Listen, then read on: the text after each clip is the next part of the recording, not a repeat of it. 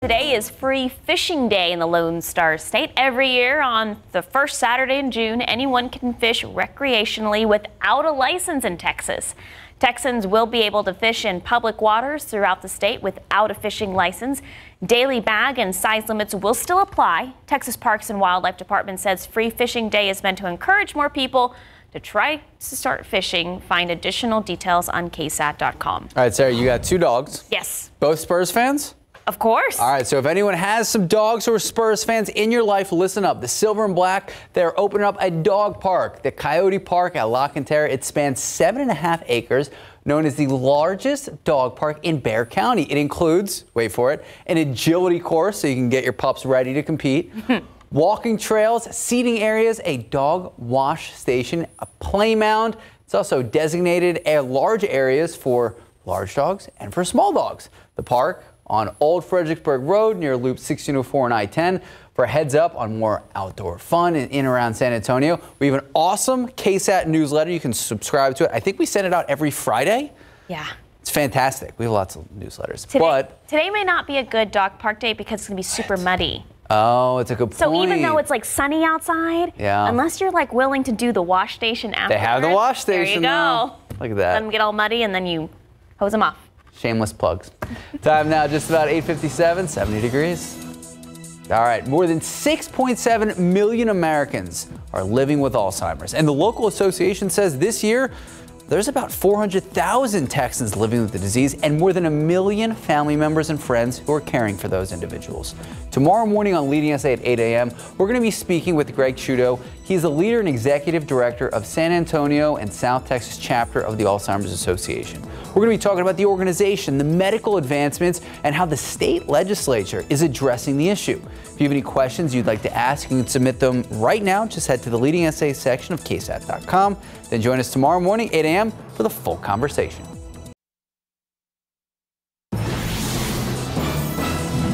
Good morning and welcome back. Look at that, a gorgeous shot of San Antonio. The sun is out, the skies are blue. Can't see any clouds or rain here, but we saw enough of it overnight. We're gonna check in with Sarah Spivey for your full forecast in just a few moments. But for now, good morning. It is nine o'clock. It is Saturday. It is June 3rd. Talking about those storms overnight, windy, lightning, thunder. Usually it's the lightning or thunder that woke me Mm-hmm. up. This time it was the wind. I was I had to get up, look outside. What is going on outside? Because that wind, the wind gusts were so so powerful at times. But I, do we have the power outages? We do. And speaking of the wind, it really knocked out power for thousands and thousands of people. At peak, 48,000 people without power. We know CPS crews out and about this morning. They're trying to fix as much as they can, but we've gone from 48,000 customers affected. Now, as you see on your screen, only 6,000 customers affected. And Sarah Spivey has been working through the night. So, Sarah, you're telling us that we might not be done with the storms for today. Yeah, I, I think the next round of storms that we get, if we get them in San Antonio, will be later on tonight. That much like yesterday, storms that develop out west could make it to San Antonio. Last night, those storms did make it to San Antonio. Tonight, a similar setup is going to happen.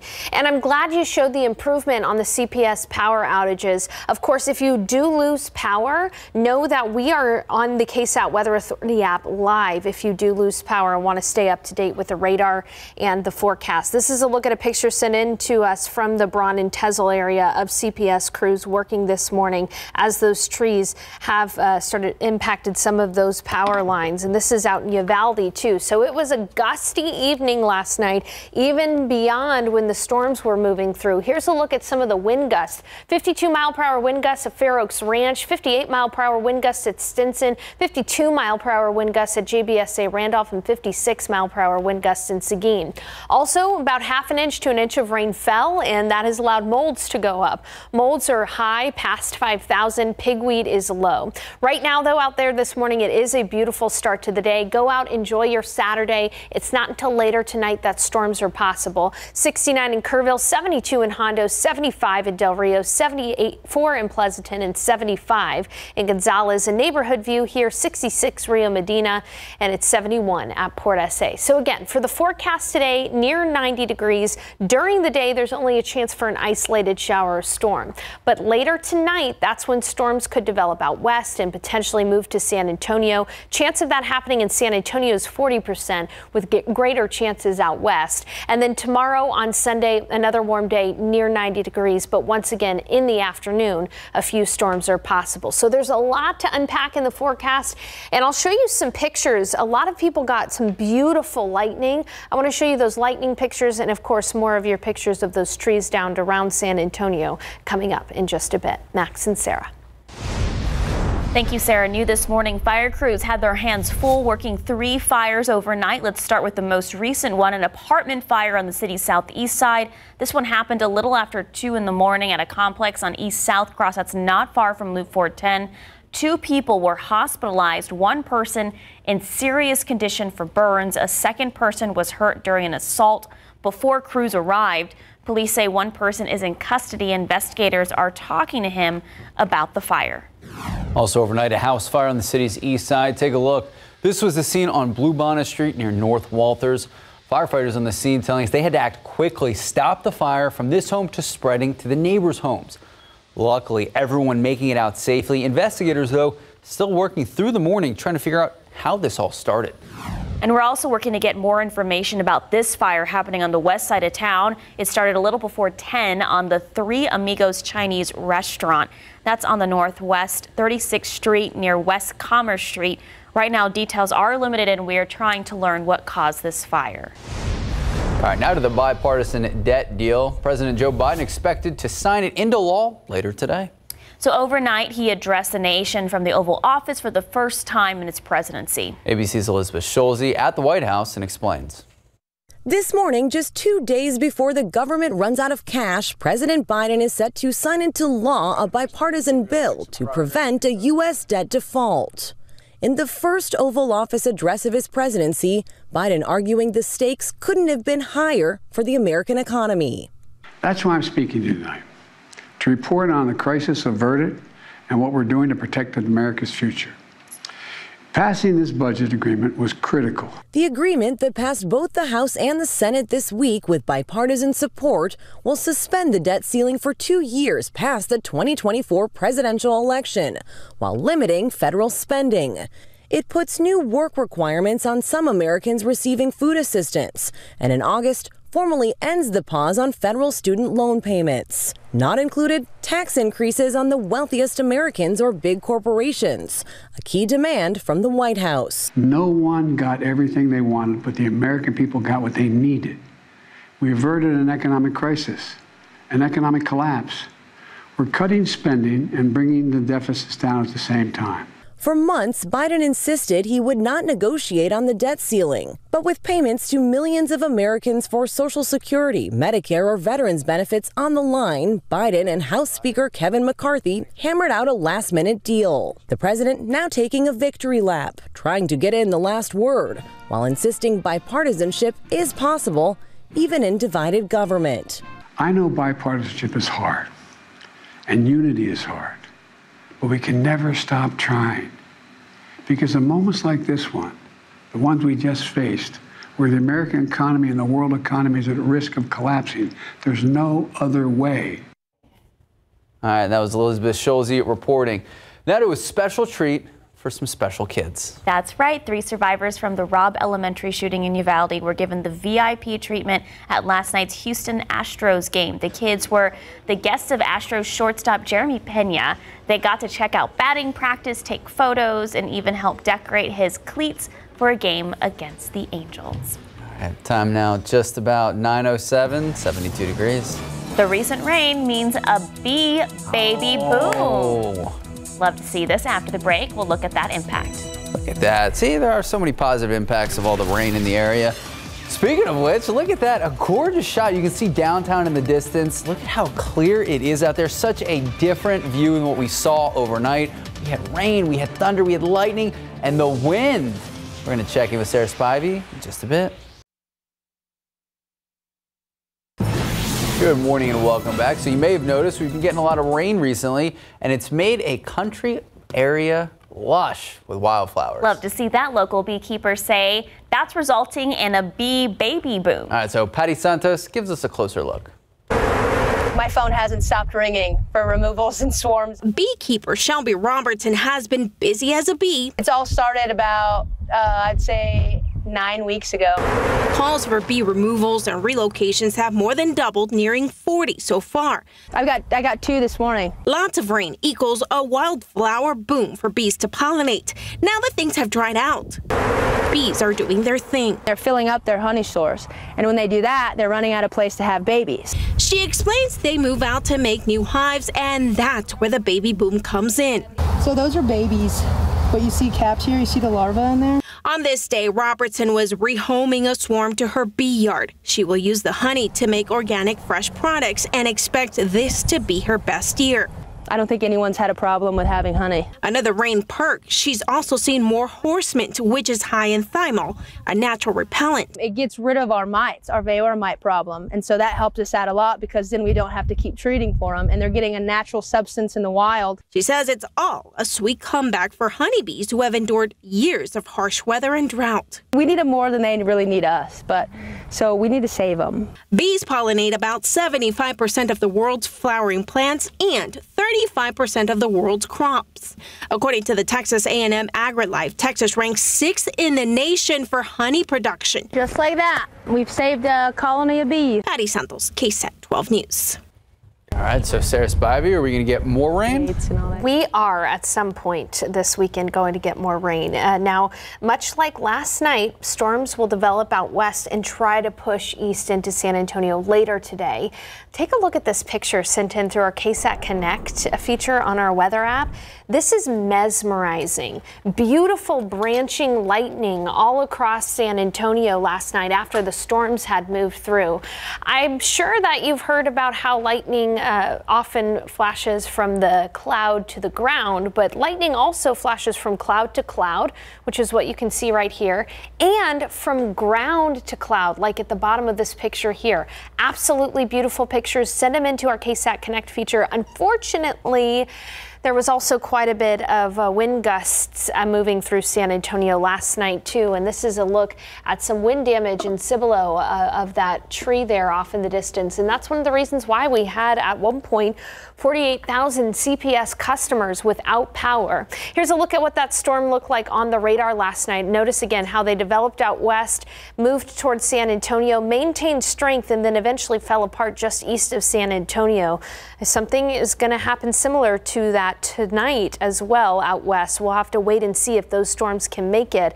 But we're going to continue to see almost daily rain chances because of the way that this high pressure system is positioned over Mexico right now, sending little bursts of energy our way. And you can see that our storm chances about 40% tonight, tomorrow, and then again tomorrow night. That's uh, scattered showers and storms possible. Right now it is nice and clear, a beautiful morning, 73 degrees outside in San Antonio. And looking at temperatures in the clouds, you can see that there's still some cloud cover out near Del Rio where it's 75, but generally most of us are enjoying a little bit of sun, 73 degrees in San Antonio, 69 in the hill country in Kerrville. But we're quickly going to warm today. So for the most part, today's just going to be warm and humid. We're going to be topping off right near 89 degrees in San Antonio, 87 in Del Rio, 87 in Kerrville, 90 in Beeville, 93 in Cotulla, 90 in Canyon Lake, and 91 in New Braunfels, 90 in Seguin and Gonzales, 90 in Hondo, 92 in Floresville, and it'll be 89 in Lost Maples. Putting it all together for you in the KSAT 12-hour forecast, quiet for most of this day, high temperature near 89. It's after 4 p.m. that we start to introduce those chances for sh scattered showers and storms, especially in the later afternoon and early evening hours. And you can see that here on the future cast. Some storms will develop out west and try to make it to San Antonio in the evening hours. Uh, so if you live west of San Antonio, Uvalde, Eagle Pass, Del Rio, Rock Springs, you have a much higher chance of storms tonight. Some of those could be on the stronger side with those damaging wind gusts. And if those storms can hang on to San Antonio, it is possible that once again we could see some gusty winds around San Antonio.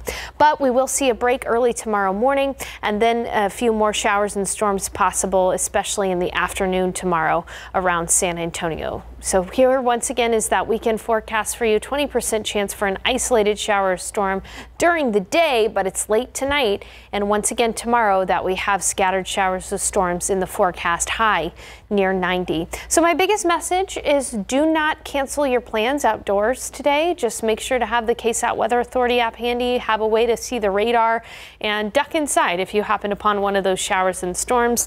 And if you happen to lose power like many did last night, uh, we continue to keep you updated on your phones on that app as well. So that's why we recommend people download it. Otherwise, it's going to be a pretty active weather week ahead with a chance for isolated showers and storms just about every single day, Max and Sarah. All right, Sarah Spy, really keeping your toes there. Yeah, I mean, it's an active weather pattern. So we've all got to be weather aware in the coming days. I'm so upset. I watered my plants last night. Oh, Because I hadn't been home in a week and I was like, oh, I should probably water. And I woke up in the middle of the night just being like, wow, good job. Fantastic. They got a little extra. Yeah. Thank you, Sarah. Thanks, Sarah. 916, 72 degrees. Okay, a new movie swinging into theaters this weekend. Max will let you know if it was worth the hype. I like the first, uh, it was Into the Spider Verse. The Spider Verse. And yeah, it was pretty good. Very good. Yeah, not a big cartoon guy, but this is pretty good. All right, taking a look at those ladder numbers. Pick three, two, six, eight, Fireball five, Daily four, eight, zero, one, seven, Fireball six. Cash 5, 17, 26, 32, 33, 35. Let's look at Mega Millions. 3, 16, 19, 36, 60, Mega Ball 25, Megaplier 2.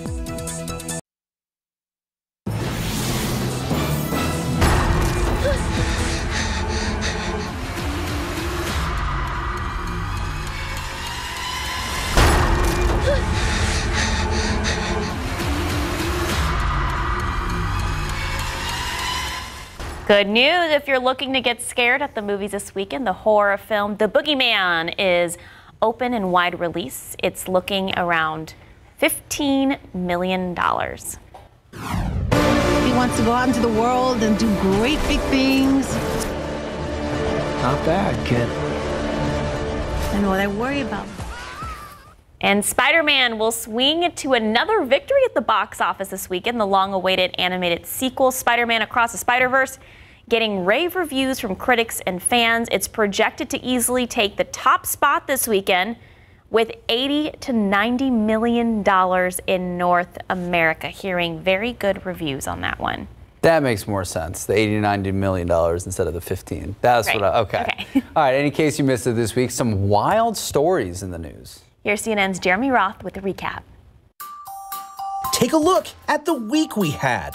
Like something out of a movie, a wild crash was caught on camera in Georgia, showing a driver suddenly launching off the back of a parked tow truck's ramp and flying through the air. The startling scene unfolded at the scene of another crash where officials had already responded. They say the driver was injured but survived the unbelievable incident. A daredevil pulled off a breathtaking and record breaking tightrope walk over a bustling city. The dazzling and death defying stunt was performed by 48 year old tightrope walker Andrea Loreni high above the Italian city of Milan.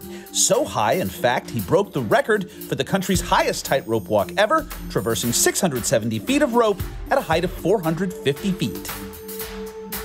Speaking of heights, an amazing life saving rescue unfolded on the world's tallest mountain. Newly released video shows a heroic Sherpa carrying a climber on his back down Mount Everest after the man was discovered immobilized, clinging to a rope, and shivering in a treacherous area near the summit nicknamed the Death Zone. The Sherpa, who was guiding another climber to the summit, convinced his client to abandon their journey in order to save the ailing climber. Finally, a cop turned cowboy in Southern California in order to help a spooked horse back to its owner. Burbank police were called after the horse, named Oreo, got loose. Luckily, Officer Nicholas Moreno grew up around horses and didn't hesitate in hopping on and riding Oreo off into the Tinseltown moonlight. For Take a Look at This Week, I'm Jeremy Roth. Okay, I want to go back to the guy climbing or Mount- walking. No, no, no, not one? mountain climbing. The one walking the tightrope. Mm-mm. There's no safety net, right? I'm assuming no. It, oh it didn't look like it. Why would anyone do that? I don't know. All right, Terrifying. time now, 9:23, 72 degrees. All right, coming up in our next Texas Eats preview, Oh. David Elder heads to Castroville for Let's some great bites All I know that there's steak and Max's mouth is watering. Watering. Oh, I'm excited for this one. Don't go anywhere. We'll be right back.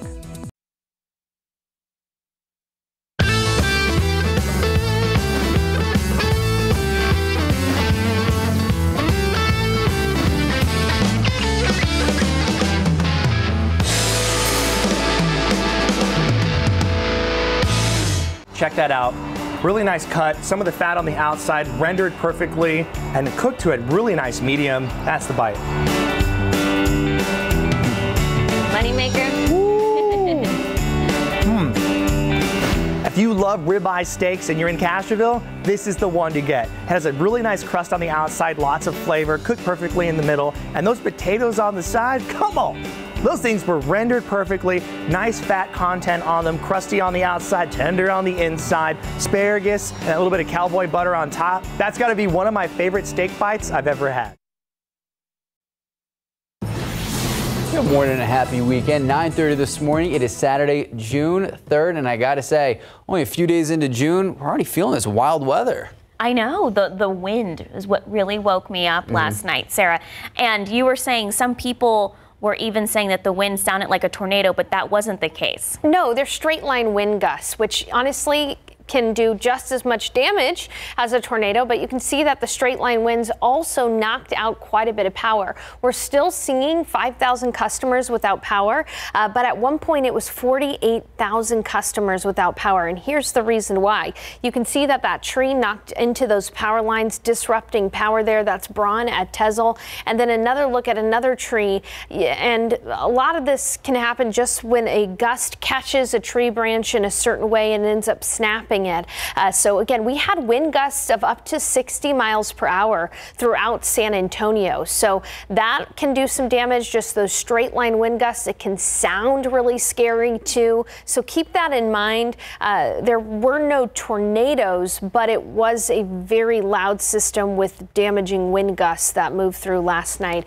Again, wind gusts reported of 56 miles per hour at the uh, Seguin Airport area. Stinson reporting 58 mile per hour wind gusts gusts. Fair Oaks Ranch, 52 mile per hour wind gusts. Those pictures, by the way, were sent in to us through our KSAT Connect feature on our weather app. We did have some decent rain, and so that made molds go up. Molds are high, past 5,000. Right now, though, it's 73 degrees at the airport, 72 in New Braunfels, 72 in Boerne and 72 in Kerrville. For most of the day today, it'll be quiet and 89 degrees, but late tonight, there is yet another chance for some storms as they develop out west, a lot like last night.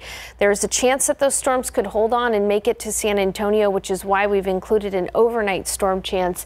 And then once again tomorrow, even though most of the day will be quiet, there is still a chance for some storms too in the afternoon, especially 40% coverage. A lot to unpack in the forecast. If you you'd like to submit those pictures, you can do so on our weather app, and I'd love to be able to show them on air as well. More on that forecast coming up for you in just a bit. Max and Sarah. Thank you, Sarah. Now to an update on a story we've been covering through the morning.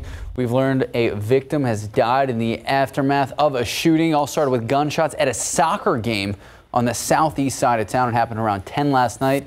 Now, this field on Roland Avenue near Southside Lions Park.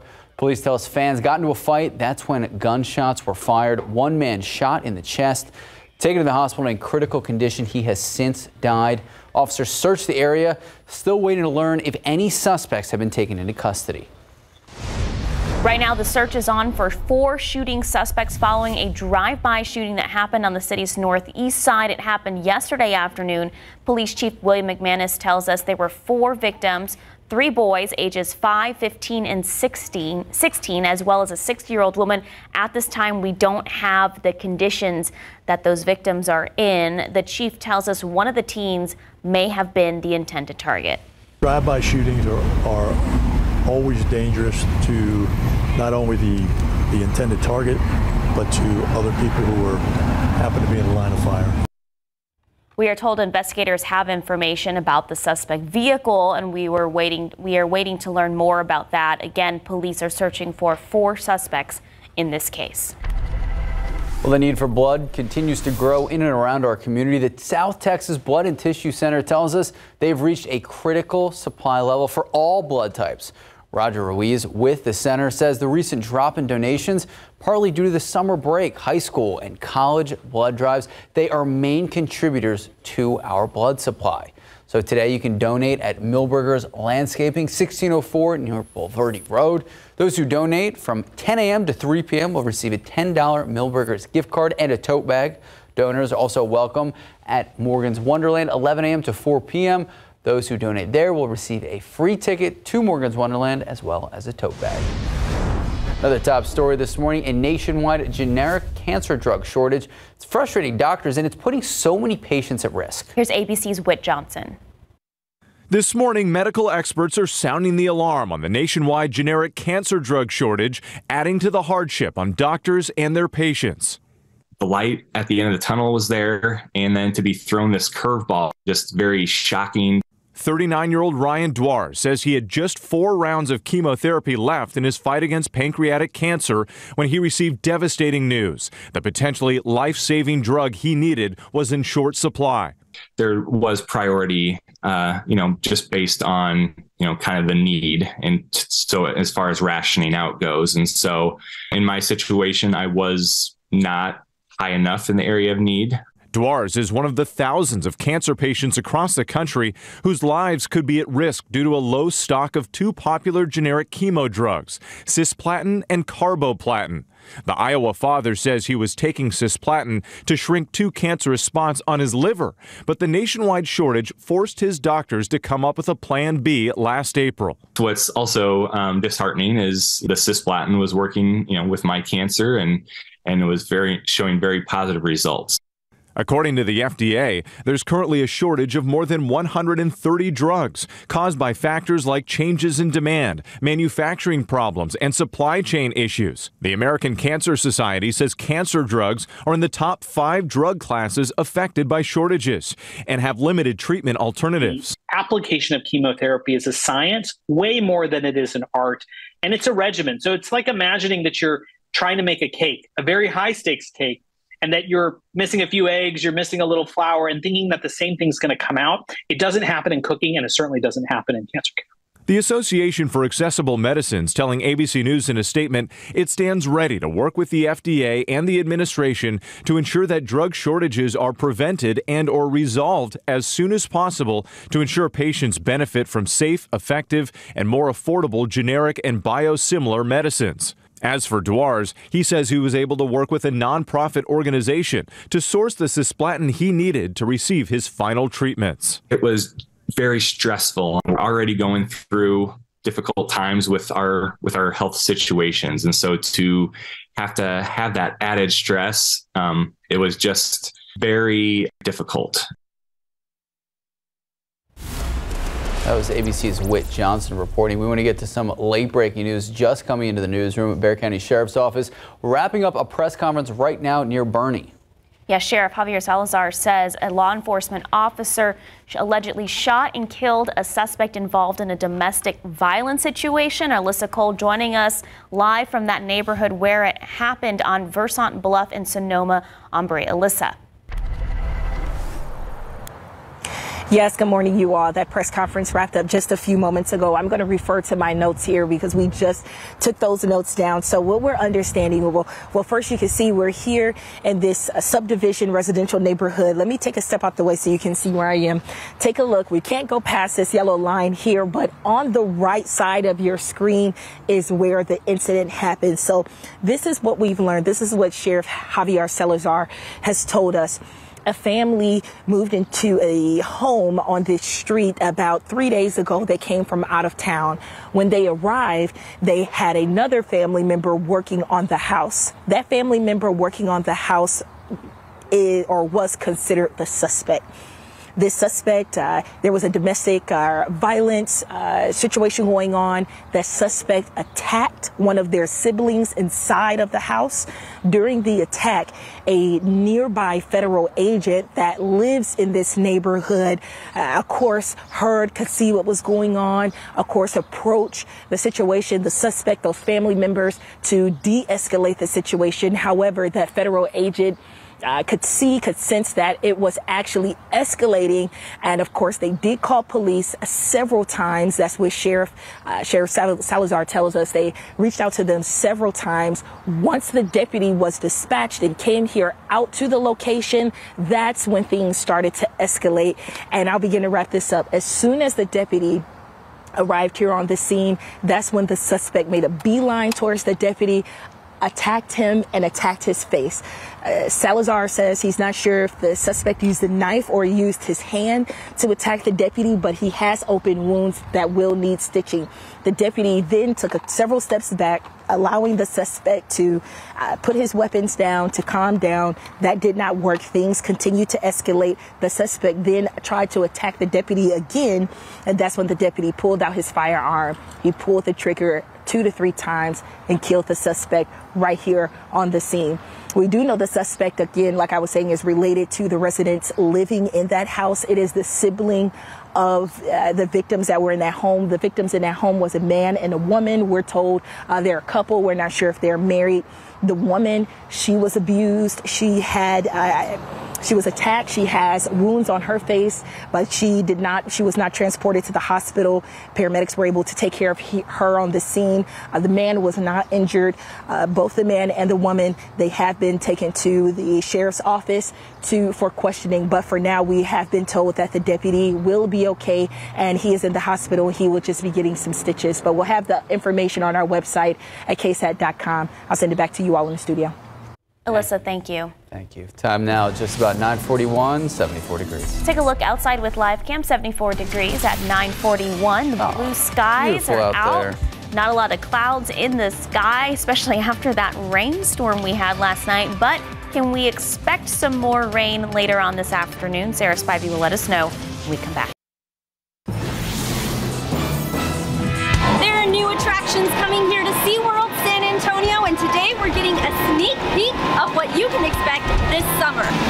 The construction site for Catapult Falls, the world's first ever launch flume coaster. This new ride will house North America's only vertical lift in a flume coaster and will feature the world's steepest drop in a flume ride. According to SeaWorld, each ride experience is around five minutes long. Catapult Falls is scheduled to open later this summer.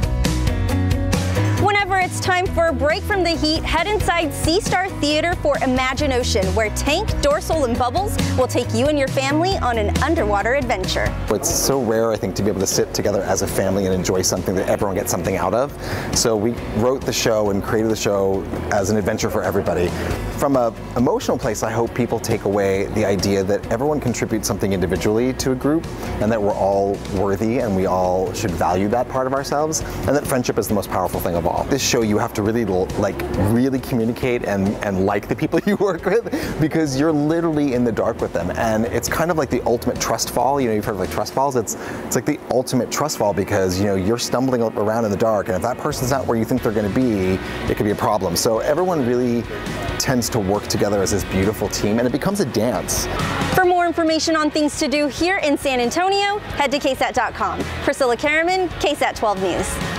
Sarah Spivey, good day to go to SeaWorld? You know, for most of the day it will be. Uh, later tonight, though, there is a chance for some storms. So if you'll be at SeaWorld maybe past 4 p.m., that's when you should be on alert for some storms. Okay. Yeah, and we did get some good rain last night in addition to the winds. Here's a look at the rainfall. Uh, anywhere you see the, the grains there on the map, that's about half an inch to an inch of rain. Most of San Antonio got anywhere from a quarter of an inch to an inch of rainfall, with areas well east kind of missing out on the rain, but these are the areas that are doing fine as far as the drought is concerned. Of course, it wasn't just rain that we got last night. We also got a lot of lightning and even, yes, some gusty winds. A lot of people waking up this morning with some downed trees. You might have heard that wind last night and thought, oh my goodness, is there a tornado coming through San Antonio? It was straight line wind winds, straight line winds that created this damage here. We saw wind gusts of up to 50 to 60 miles per hour. And by the way, the ground is pretty saturated, so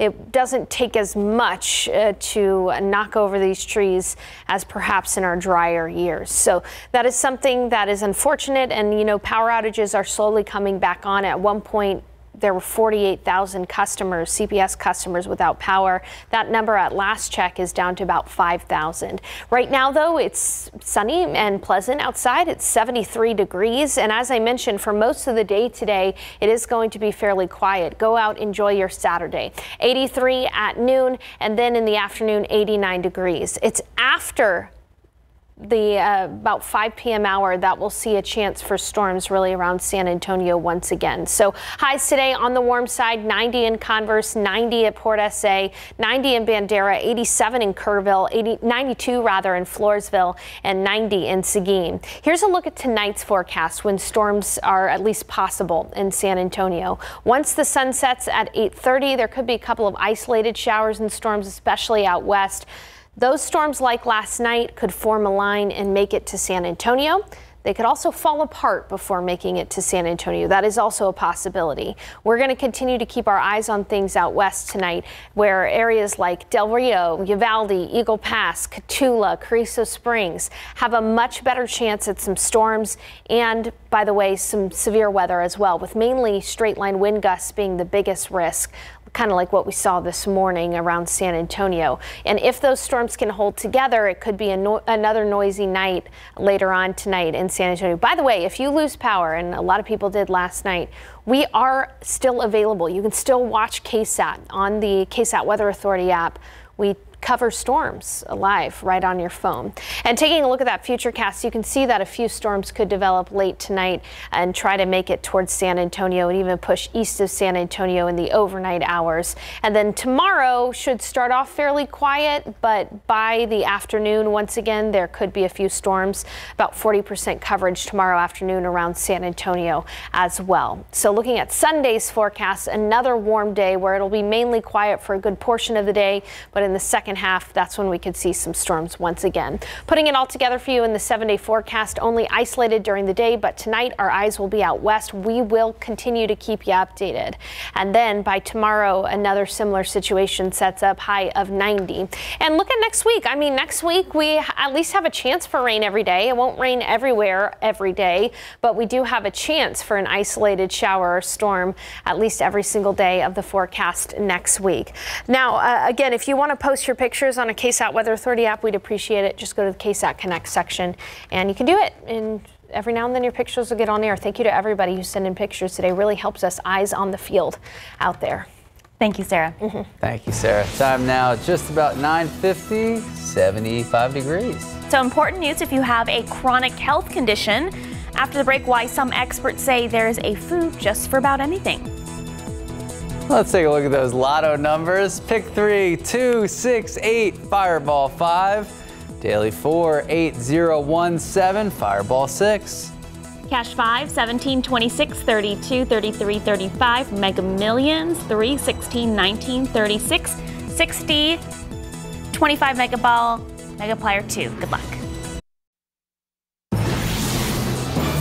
Good morning and welcome back. Nearly half of all Americans suffer from at least one chronic health condition. So while medical treatments can help keep many of these conditions in check, you might wonder if what you eat is also playing a role. Spoiler, it does. As Leslie Hudson explains, certain foods may help some of the most common health concerns. If you have a chronic health concern, you're probably used to looking here for relief. But you can also try here. That's because certain foods may ease symptoms of different conditions. For instance, only fish contains omega 3s that could help depression. Experts recommend eating fresh oily fish such as salmon, tuna, mackerel, and herring at least two to three times a week. To help anxiety, you might want to try eating more eggs.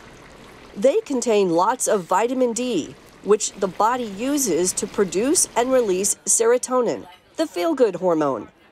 For arthritis, studies suggest green tea may lessen inflammation and cartilage destruction. If you have high blood pressure, experts recommend potassium rich foods like bananas. They increase the amount of sodium that your body excretes in urine and can relax blood vessels. People that suffer from asthma might want to drink tomato juice. Studies show it may help airways relax. Lastly, if you have diabetes, opt for high fiber foods like oatmeal. With foods to help your chronic condition, I'm Leslie Hudson reporting. Okay, is a really slow talking package. And all those things are very important. Literally had green tea this morning. I You're like, I've had all of these things today. Yeah, except for the fish, not before noon. All right, time is 9:55, 76 degrees. Speaking of chronic health conditions, more than 6.7 million Americans living with Alzheimer's. Tomorrow morning on Leading SA at 8 a.m., we're set to speak with Greg Shudo, the leader and executive director of San Antonio and South Texas chapter of the Alzheimer's Association. talking about the organization, the medical advancements we've seen over the years, and how the Texas state legislature is working to address the issue.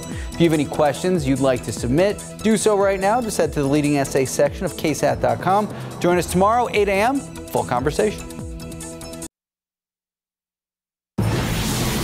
Welcome back. A big reminder for San Antonio voters who live in District 1 and District 7. You still have a few days left to cast your ballots in early voting for the City Council runoff elections. Remember, incumbent Mario Bravo going against Sue for the District 1 seat and then headed over to District 7. Let's see if the video will catch up to me. I'm talking a lot quicker than that. All right, Marina Alderete Gavito and Dan Rossiter. They are vying for former Councilwoman Ana Sandoval's office. Election day We'll be here with you live next Saturday. And happening today, Judson ISD is hosting its Drive the Bus Job Fair. Potential drivers can apply at the Rutledge Stadium parking lot in Converse from 10 a.m. to 2 p.m. Pay starts at $17.50 an hour with incentives up to $3,200 for eligible drivers. In the pollen count, molds are high, past 5,000. Pigweed is low. Looking at today's forecast, mostly quiet during the day with a high near 90, but tonight storms are once again possible. We'll have to see if they can hold on to make it to San Antonio like they did last night. Similar story tomorrow. Go out and enjoy your weekend, but always keep a radar handy just in case you have to duck inside if you happen to get one of those storms. Thank you, Sarah. Thank you, Sarah. Thank you so much for watching, starting your morning with us. Don't go anywhere because Texas Eat starts right now.